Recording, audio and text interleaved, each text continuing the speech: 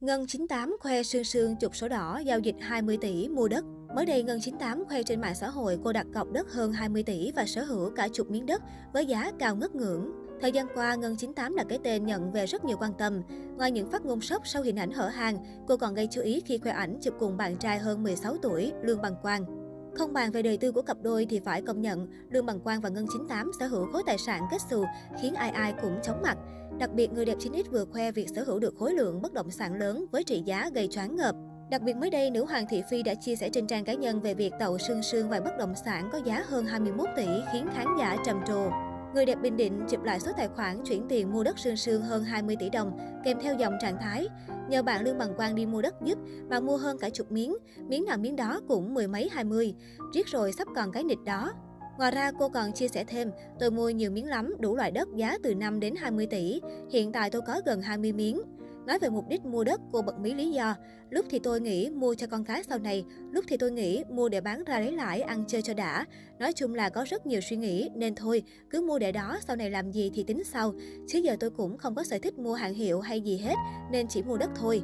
Phải công nhận cô nàng dù có dính nhiều lùm xùm về scandal, nhưng độ giỏi kiếm tiền và sở hữu khối tài sản khủng làm người khác phải nể phục, cũng như tò mò không biết người đẹp này đang sở hữu bao nhiêu khối tài sản đồ sộ. Cách đây vài tháng, Ngân 98 còn gây chú ý khi khoe ảnh sắm siêu xe tiền tỷ hay nhá hàng hình ảnh căn hộ cao cấp mà cô sắp chuyển về ở. Hình ảnh ghi lại, bất động sản ngập tràn ánh sáng với đầy đủ tiện nghi trong phòng khách, phòng ngủ, phòng thay đồ, phòng cho quản lý trợ lý, phòng studio làm việc, phòng chiếu phim, khu tập gym.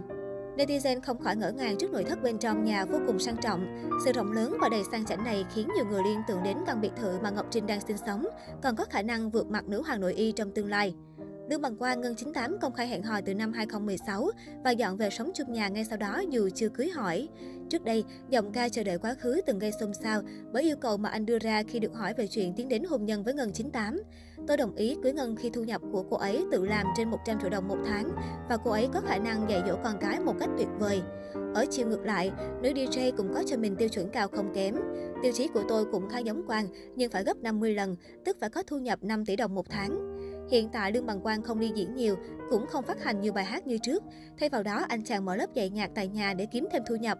Ngoài ra, nam ca sĩ nhạc sĩ còn sở hữu một căn chung cư cao cấp rộng 150 m2 tại quận 8 thành phố Hồ Chí Minh.